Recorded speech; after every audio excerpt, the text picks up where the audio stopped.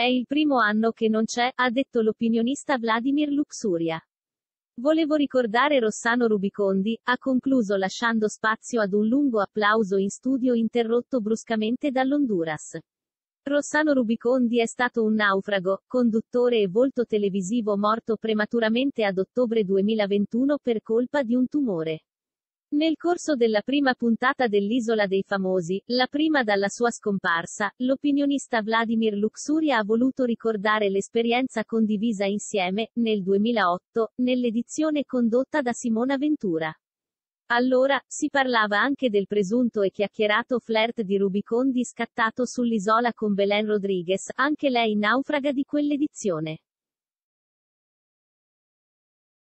Nel corso della prima puntata è l'opinionista Luxuria a ricordare Rossano Rubicondi, commuovendosi in diretta.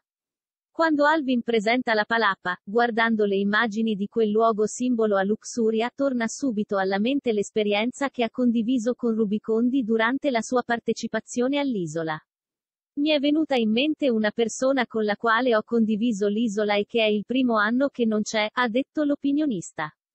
Volevo ricordare Rossano Rubicondi, ha concluso lasciando spazio ad un lungo applauso in studio interrotto bruscamente dall'Honduras.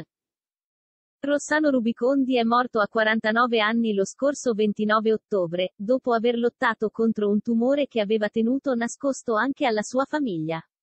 Lontano dall'Italia da alcuni anni infatti, viveva da solo New York ed era nel suo appartamento quando sarebbe caduto senza riuscire a chiamare i soccorsi.